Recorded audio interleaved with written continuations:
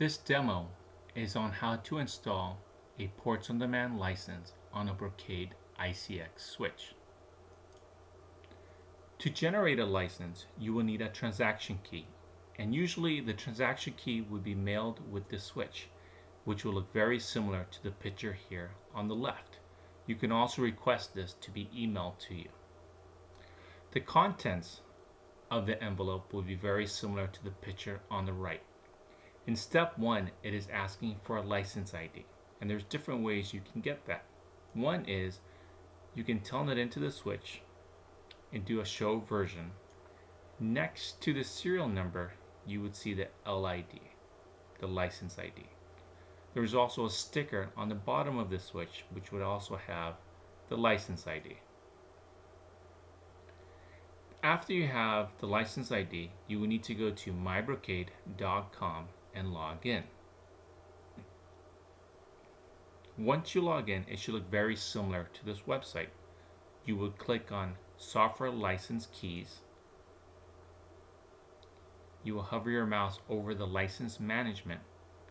You will go to Brocade IP ADP and you then go on to license generation with transaction key.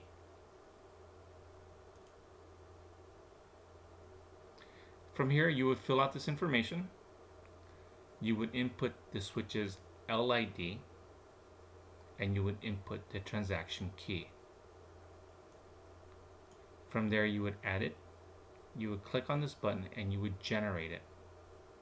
Once you generate it, you would receive an email from our software portal.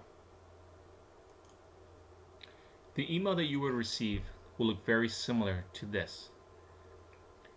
Attached to the email will be an XML file. This XML file you need to put on your TFTP server.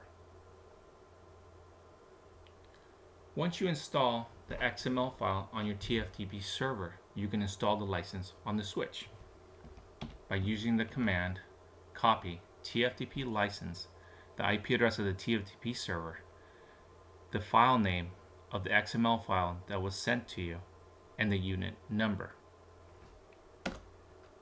Once this is done, you can do show license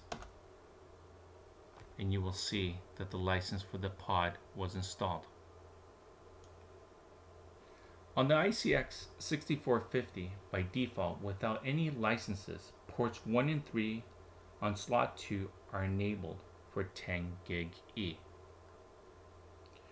Ports 2 and 4 come up in 10 gig speed, but are in error disabled state. In this state, ports 2 and 4 can be configured for 1 gig speed using the speed duplex command under the interface. Once the pod license is installed with the correct 10 gig optics and the correct speed duplex set under the interface, ports 2 and 4 can be used at 10 gig speed. There's a similar concept for the 6610. By default, without any pod license, there are 8 additional SFP ports that can be used as 1 gig. Once a pod license is installed, the four lower port numbers can be used as 10 gig. These are ports 131 through 134. If you would like to add additional 10 gig capacity to the ICX 6610, you can add an additional pod license for a total of 8 10 gigs per ICX 6610. Thanks for watching.